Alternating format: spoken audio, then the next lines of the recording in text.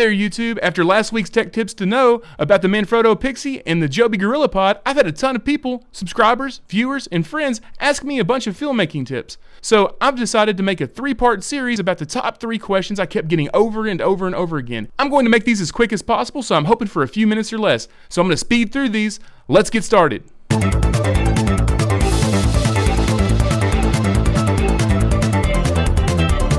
The number one question and subsequently the topic of this video was what is the best editing software for newbies on a budget? There are tons of editing softwares out there. I mean, just millions of editing softwares, probably. I don't know, maybe not a full million, but a lot of editing softwares. If I don't discuss yours, please leave it in the comments below. I feel that the answer to this question is best broken down by operating system. For Mac only users, the easiest and cheapest way to go is, of course, iMovie. This is an intuitive little software that is absolutely free to use and is a great way to start learning the editing process. Even better, it's a pretty easy jump to Final Cut Pro X, which is my editing software of choice and is really gaining steam after recent updates to make it even better and faster. And in my opinion, a steal for $299.99.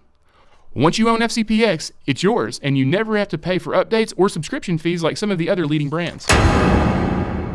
All of the other softwares I'm going to discuss today are for Mac, Windows, and possibly Linux. I think Blackmagic DaVinci Resolve 15 deserves an honorable mention here. This software started as a color grading tool in the early versions to support Blackmagic's hardware controls, but now is a full editing suite that will rival any other top editing softwares out there. The best part is, it's absolutely free. It's not a demo version, it's not a trial, it's just free for the full version. You would only need the paid version for multi-user collaboration or simultaneous editing. The full studio version is still only $299.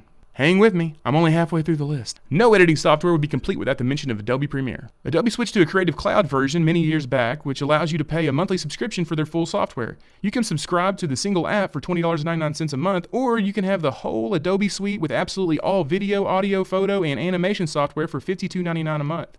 Adobe does have a little brother software for their Premiere Pro called Premiere Elements that will run you $99 for a license, but is currently at a 40% discount, so it's only $59.99. I've used this software in the past, but I found that it was a much tougher jump from Elements to Premiere than it was from iMovie to FCPX. Lastly, but definitely not least, is Avid Media Composer. If you've ever watched a film or a TV show in your life, there's a good chance it was made on Media Composer. This software just a year ago would have cost as much as $1,200 per license. They've jumped on the bandwagon and started their own subscription service for as little as $19.99 a month. Of course, there could be more add ons, but that's ridiculously low compared to their previous prices. What's more amazing than that is they released a free version called Media Composer First that has almost all the features of the paid version. It's definitely a great way to get started and build your skills.